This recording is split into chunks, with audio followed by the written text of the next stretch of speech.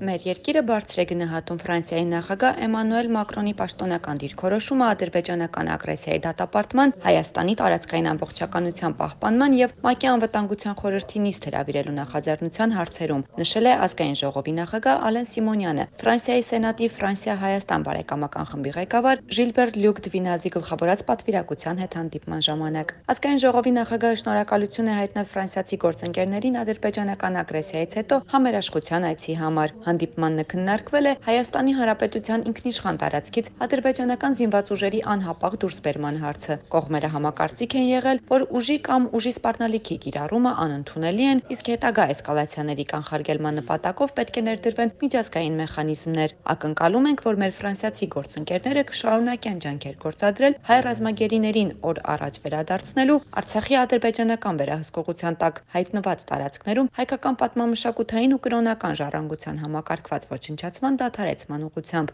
Անդրադառնալով հետ պատերազմյան Արցախին հանդիպումը եզրափակել է Ալեն Սիմոնյանը։